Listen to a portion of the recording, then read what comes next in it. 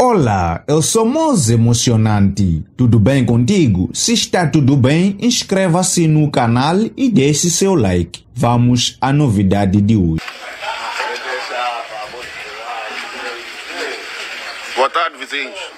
Epa, a triste informação é esta. A casa do nosso vizinho Azagai queimou hoje. Praticamente tudo perdido, pá. Tudo perdido. Tentamos, tentamos, mas é, o fogo era muito intenso, muito forte mesmo.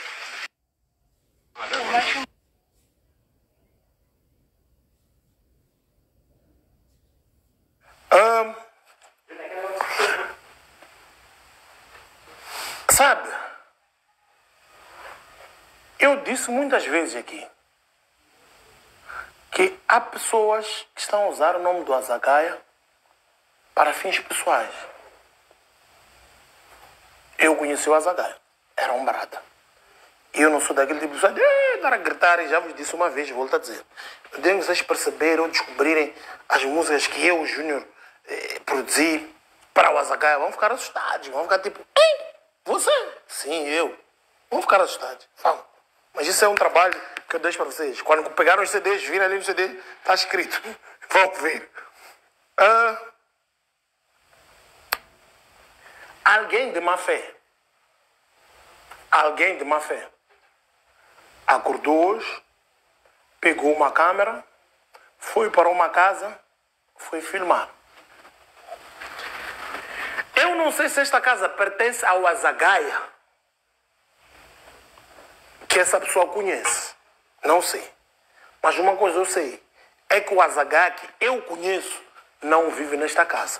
Ou seja, pode ser que a pessoa que vive nesta casa é Azagaia, mas não é o único ou malogrado músico Azagaia. O que mais me irritou vídeo não foi a pessoa ter feito o vídeo, não sei o que, de queimou a casa do Azagaia, não.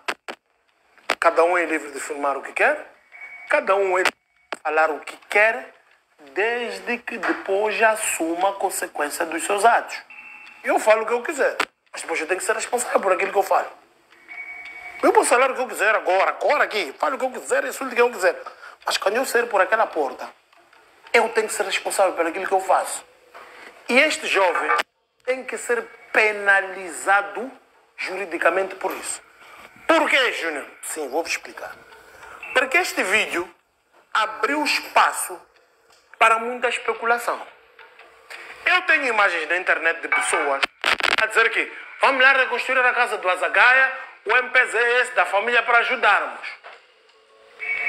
As pessoas estão a roubar pessoas, estão a burlar pessoas em nome do malogrado Azagaia. Quer dizer, o artista em vida não deixam descansar.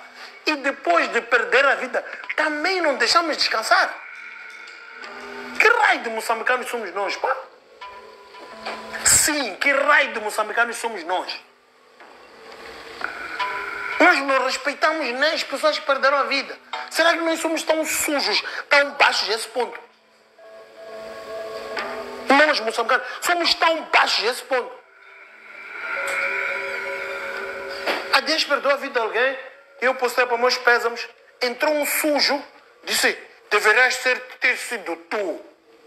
Meu irmão, até que ponto nós chegamos, pá? Será que somos tão sujos assim? Que vivemos a desejar a morte dos outros. Vivemos a desejar mal aos outros. Morreu. Ok, então, vamos arranjar um esquema para roubarmos dinheiro, extorquir pessoas. Mano, será que nós somos tão sujos, tão baixos assim?